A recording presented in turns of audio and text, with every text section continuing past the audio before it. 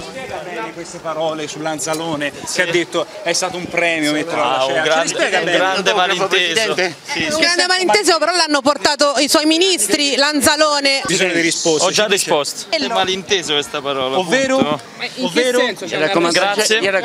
eh? non ha paura che tutta questa situazione possa favorire un po' la Lega no, anche in queste amministrative oggi qui per l'amministrativa non gli fate male eh, ho capito ma perché mi eh, Di Maio